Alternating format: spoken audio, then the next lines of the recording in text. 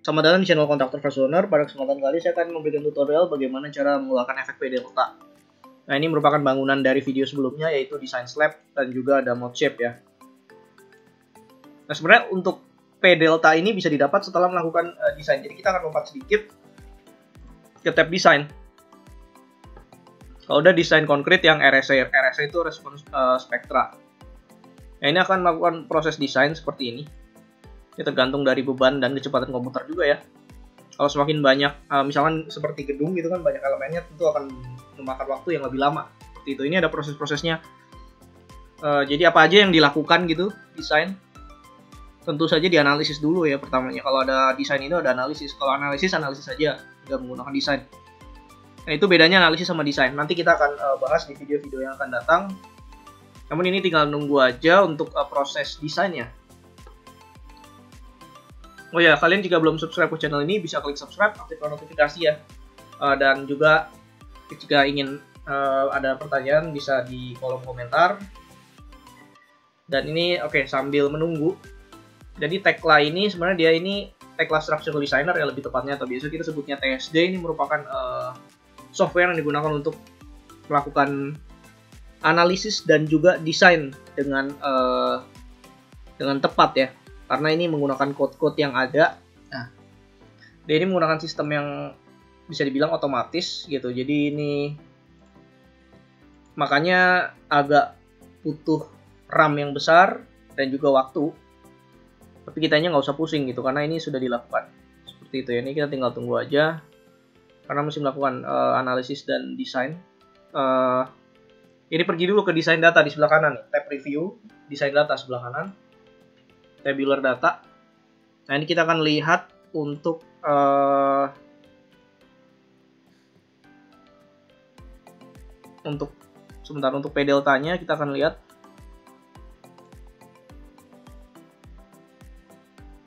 Ini seismic drift kalau ingin mengeluarkan uh, seismic drift. RSA concrete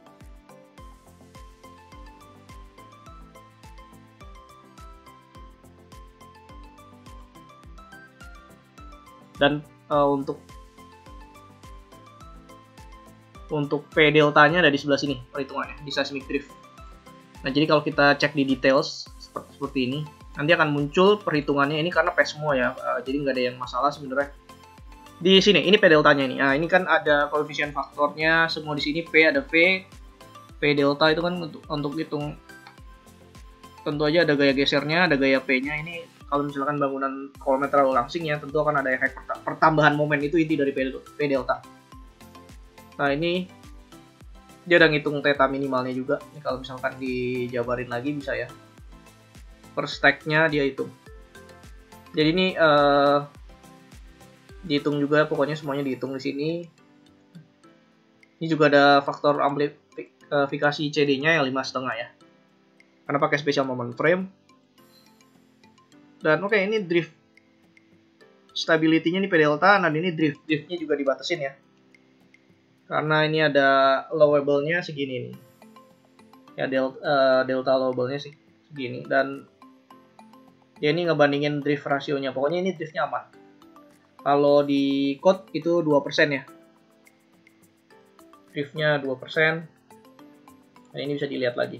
Nah, jadi sebenarnya cukup simple. Kalau misalkan ada bangunan yang atau kolom yang misalkan bermasalah di sini ini bisa diperbaiki dengan cara uh, mengatur dimensinya salah satunya. Bisa dimensi bisa konfigurasi uh, arah memanjangnya. Tentu kalau semakin memanjang ke arah panjang itu akan lebih kaku ya seperti itu. Nah itu solusi-solusi yang bisa dilakukan. Atau ya tinggi lantainya dipendekin kalau misalkan memungkinkan. Tapi biasanya sih uh, seperti itu jarang ya. Nah, biasa lebih main ke ukurannya aja supaya lebih stabil. Karena kalau semakin tinggi uh, kolomnya itu dan semakin tipis tentu tidak tidak akan lebih stabil dari yang lebih pendek dan lebih besar dimensi. Nah, jadi seperti itu ini uh, P delta ya. Jadi misalkan kalau mau dibahas satu-satu ya, dan ini CD, ada I, I ini juga yang ditentukan di awal ya kalau lihat di dari dari jenis bangunannya apa. Gitu. Terus kalau ini dari analisis tentu angka 2,4 ini. Kalau ini 13,2 ini dapat dari mana ya tinggal dikali 5,5 sama 2,4 ini ya dapatnya 13,2 seperti itu. Dan uh, terus ada P ada delta. Ini mungkin ada koma di belakangnya ya jadi kalau dihitung nanti mungkin agak sedikit bisa jadi sedikit-sedikit beda. Terus ada V. Ini juga dari analisis struktur dua-duanya. Stack ini dari modelnya tingginya 4 meter satu lantai. Kemudian delta itu kan uh, ini theta theta itu kan P delta dibagi V kali H nah itu yang tadi P kali delta dibagi V kali H. Tapi nah ini udah deltanya sudah dikali sama faktor 5,5 ya. Dikali CD dibagi I. 5,5 bagi 1. Ini sebenarnya satunya juga masuk di sini ya. Makanya ketemu angkanya 0,024. Nah, terus uh, syarat stabil adalah theta ini tidak boleh lebih besar dari theta max. Theta maxnya dari SNI ini 0,5 beta uh, direction 1 kali CD direction 1. Nah, ini kan ada direction 1, direction 2 dari tag lain kan hitungnya teliti banget ya.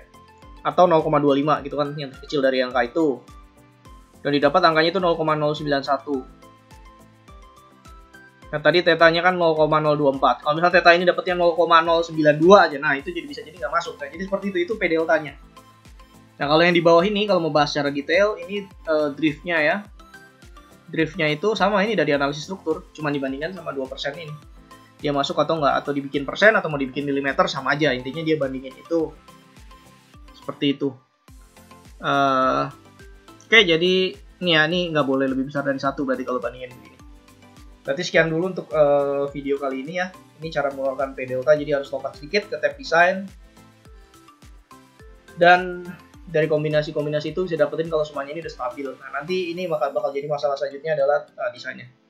Sekian dulu untuk video kali ini. Terima kasih karena sudah menonton.